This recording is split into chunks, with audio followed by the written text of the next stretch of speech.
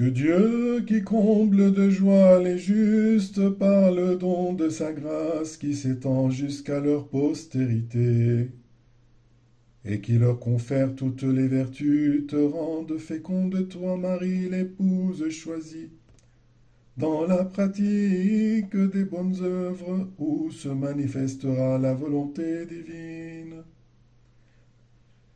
Que tes enfants vivent dans l'amour de Dieu, ils seront ainsi pour toi comme une lampe qui t'éclairera quand le Seigneur apparaîtra au dernier jour.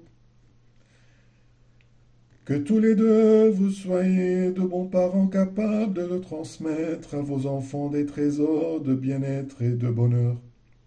Nous le lui demandons par l'intercession de la Vierge Marie et de tous les saints.